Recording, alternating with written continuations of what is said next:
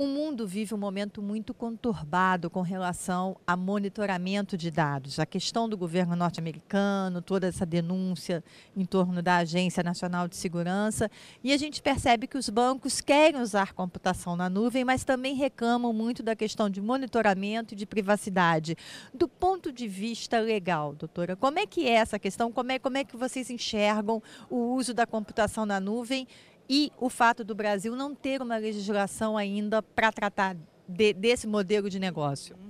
É, o que a gente vê é que nos últimos anos há um duelo entre segurança e privacidade. Nós crescemos com a discussão de privacidade até 2001 e depois os ataques terroristas inverteu e começou a se crescer de novo a importância da segurança. Então a tendência hoje é se justificar uma monitoração cada vez maior, principalmente do Big Data, dos dados que podem levantar informações sobre eventuais suspeitos ou comportamentos suspeitos, e isso vai sempre levar àquela discussão de que se hoje um cliente é usuário de um serviço que está colocando a sua informação mais na nuvem, o quanto que ele consegue garantir a proteção desse dado só dentro da relação ou que isso pode ficar exposto para terceiros ou até chegar a ser lido ou olhado aí pela a Polícia Federal norte-americana, entre outros. Então, o que a gente percebe é um, precisa ter sim uma lei no Brasil que trate sobre proteção de dados de cidadão brasileiro. Isso a União Europeia fez nos últimos anos para falar sobre os dados de cidadão europeu e impôs isso às empresas norte-americanas que garantisse camada de segurança e privacidade de dados quando estivessem com essas informações depositadas nelas. Muitas delas até por modelo de negócio migraram infraestruturas de TI, mesmo oferecendo a nuvem, fazendo aquilo que a gente chama de nuvem local, né? De não chegar a parar lá num servidor nos Estados Unidos, já que essa empresa privada pouco pode fazer se receber uma ordem de autoridade dizendo que vai levar aquela informação e às vezes o brasileiro não tem nem como saber que isso está acontecendo a respeito da sua informação. Então, o que nós temos visto de tendência? Muitos bancos têm tentado explorar um modelo mais híbrido, onde deixa claro numa relação de contrato com o um cliente, que são termos de adesão, de que determinados serviços na nuvem ou mesmo numa rede social vai ter uma camada de informação que vai ficar aberta. Mas que o processamento do dado financeiro, até por questões de sigilo bancário, vai estar num ambiente mais do banco, mesmo que através de um aplicativo. Então, eu posso permitir que um banco hoje apareça a sua conta corrente, a sua agência através de um Facebook, mas que a partir do momento que você digita os seus dados, você já entrou numa camada protegida da própria aplicação do banco. Por outro lado, o que você interagir direto no perfil do seu gerente ou falar com ele, está claro que você está por conta e risco trazendo aquela informação à tona e a colocando de forma mais pública, né, mais aberta na internet. Eu acredito que tem que investir muito em conscientização do próprio correntista, porque a gente nos últimos anos enfrentou um desafio no judiciário de delimitar até onde vai a porta do banco.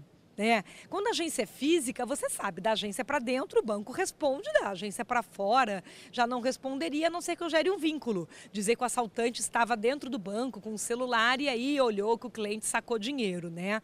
Mas quando você vai para um virtual, você tem uma dificuldade de delimitar esse perímetro de responsabilidade. Então, cabe ao banco deixar claro até onde vai a porta dele e fazer campanha de segurança para que esse cliente saiba aonde aquele dado tem mais camada de proteção e aonde vai estar aberto. O cliente acessa o banco do tablet e coloca uma informação, tipo o extrato dele no Dropbox. É lógico que esse Dropbox tem a possibilidade de ser visto até pelo governo americano. Né? Então, não é porque eu li, expus um extrato por uma via online, uma interface, se você dali coloca num local que seria mais ah, de nuvem pública, é lógico que aquilo vai atrair maior risco ou de vazamento, ou de monitoração, ou de quebra de privacidade para o próprio cliente. Nesse modelo, a gente percebe, por exemplo, o Superior Tribunal de Justiça nosso, ele obrigou o Google, por exemplo, a abrir um dado de um e-mail numa ação que está correndo em sigilo judicial. Essa vai ser. Você acredita, doutora Patrícia, que isso vai ser uma tendência de ter ações judiciais por conta de vazamento de dados que seriam considerados sigilosos? Ah, sim, acredito que sim. A gente hoje transformou aquela testemunha humana numa testemunha máquina. Então, a instituição que detém a máquina, que pode dizer o que aconteceu, ou que guarda a prova que pode dizer o que aconteceu, está mais sujeita a receber uma ordem judicial para apresentação dessa prova. Nesse caso específico, houve a alegação da Google de que não poderia apresentar a prova porque não estava no Brasil e estava depositada no seu servidor nos Estados Unidos. E aí, por isso, houve essa batalha judicial num confronto, num enfrentamento do nosso Superior Tribunal de Justiça solicitar a autoridade americana que sim, que tem que cumprir, mesmo que o dado esteja nos Estados Unidos, apresentar, porque há acordos de colaboração e bilateralidade entre Brasil e Estados Unidos, como outros países, né? Assim como nós teríamos que participar e contribuir para prestar uma informação para um FBI, por exemplo. Então a tendência é essa sim. Hoje é importante lembrar que a pessoa tem que pensar bem que informação que ela gera, aonde ela guarda e dependendo, se ela for colocar num ambiente mais aberto, a camada de criptografia. Porque se eu usasse hoje um e-mail gratuito, mesmo um Dropbox, mas estou colocando um dado ali que tem uma camada de criptografia, não ninguém consegue ler ou olhar. Mas a maior parte dos usuários são mais leigos em tecnologia e por isso que o banco, conforme foi ampliando os serviços bancários, usando infraestrutura não própria, mas do cliente, né, o cliente que processa a operação através do seu próprio dispositivo, da sua própria conexão e assim por diante, ele tem que dizer como você processa isso de uma forma mais segura e privativa, porque se não for dito, não há ainda uma cultura familiar que explique melhor como usar esses recursos de forma segura. Muitas pessoas já têm banco pelo celular, usam mobile banking e não põem senha de bloqueio do celular. Né? Então, a chance daquela informação financeira vazada ali, o que, que o banco faz do lado dele? Blinda juridicamente, colocando claramente no contrato de adesão para mobile banking que a informação já dentro do seu dispositivo, depois que foi transmitida para você, cabe a você proteger. Dentro desse conceito, a gente percebe que a consumerização de TI hoje é um pesadelo para o gestor, gestor da área de tecnologia da informação de um banco, assim como as fraudes bancárias também o são, pelo menos nas recentes pesquisas. A nossa legislação trabalhista, por exemplo, ela está preparada para enfrentar esse momento? Olha, nossa legislação trabalhista ah, foi atualizada há praticamente dois anos e ela melhor encarou que hoje a gente pode trabalhar de qualquer lugar mas ela ainda não está melhor preparada para tratar todas as situações que vêm resultantes da consumerização. Você diminui a separação do público-privado, a separação do pessoal e do profissional, tudo fica muito mais próximo e reunido muitas vezes no mesmo ambiente, no mesmo dispositivo, e aí por isso, de novo, Hoje as empresas têm que criar política clara e ter contratos com cláusulas sobre isso, até para evitar aquele risco de uma hora extra desnecessária. Não é pelo fato do funcionário ter acesso a uma informação ou um recurso que foi solicitado a ele trabalhar.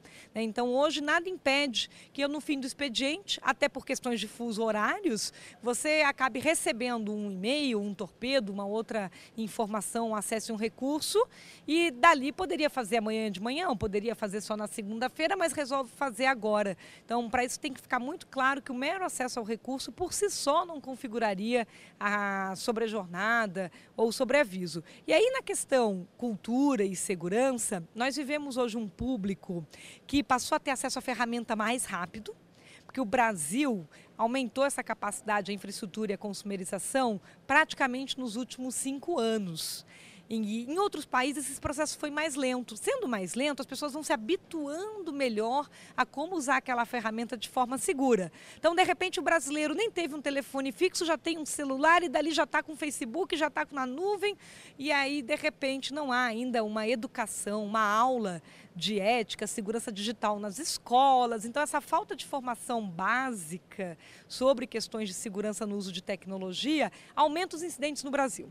Então, é por isso que vai aumentar fraude, vai aumentar vazamento, porque até quando a gente herda essa geração Y e a Z, né, pelo Dom Tapscott, nascida depois dos anos 80, ela vem com mais ferramental, ela vem com mais cultura digital, mas não quer dizer que ela vem com mais cultura de segurança. Então, a probabilidade de, até por boa fé ou até por vontade de trabalhar ou fazer melhor, ela acabar carregando uma informação sem proteção, o dispositivo ser furtado e isso acabar vazando, é grande. Ela teria que ter uma forma de fazer o backup seguro do que está ali. Muitos não colocam nenhum aplicativo disso. Fazer apagamento remoto, caso o tablet desapareça, furtado ou roubado, muitos esquecem que tem aplicativos já até gratuitos sobre isso.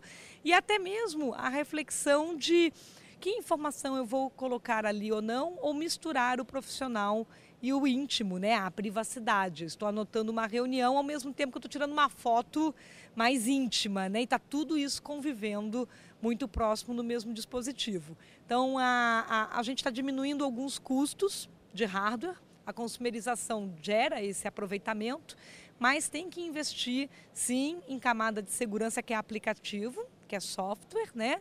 E em política que seriam regras claras e educação. Ah, sem educação, nós ainda estamos numa possibilidade de enfrentar mais 5 a 10 anos aí de bastante incidente.